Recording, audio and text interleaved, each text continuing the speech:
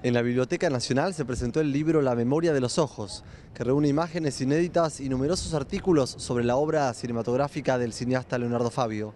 Nuestra idea fue armar un libro que contuviera las películas de alguna forma diferente, o sea, es un homenaje muy humilde a lo que es el trabajo de, de Fabio como cineasta. La idea fue desmenuzar un poco las películas como para poder tenerla ahí en la biblioteca de una manera muy particular, que es con la mirada de periodistas de una misma generación.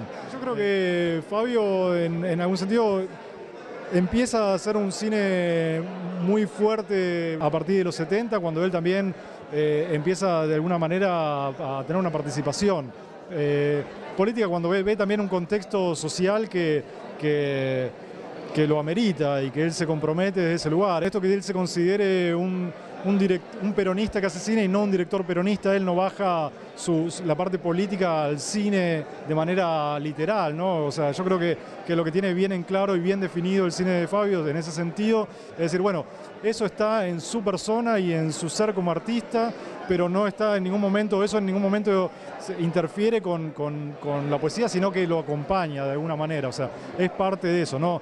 Yo creo que salvo en Sinfonía del Sentimiento, que es una obra totalmente aparte, que él, bueno, es un largometraje donde él manifiesta su pasión por el peronismo eh, y, por, y, por, la figura de Perón y Evita. Básicamente él en sus ficciones pone el contexto, él sí le ha dedicado a lo social, él me parece que en ese sentido es indiscutible. ¿Cómo es Fabio como director de cine desde adentro, desde el set? Mirá, es una persona que te, te impone un gran respeto.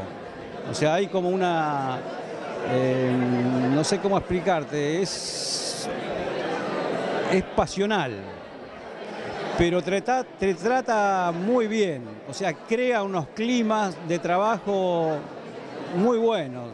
Leonardo Fabio es seguramente el mejor embajador de la cultura argentina a través de todos los tiempos. Fabio ha fotografiado nuestra identidad nacional como nadie, este, cuenta las historias nuestras, vemos a la gente de nuestro pueblo y eso no es casualidad. Por algo Leonardo es quien es y es quien es en la vida también, ¿no? un señor con mayúsculas. Sin duda Fabio se siente muy cómodo en este tiempo que le toca vivir. Él ya lo ha dicho, que pensó que nunca más iba a vivir una primavera como la que estaba viviendo con Néstor Kirchner y ahora con Cristina, ¿no?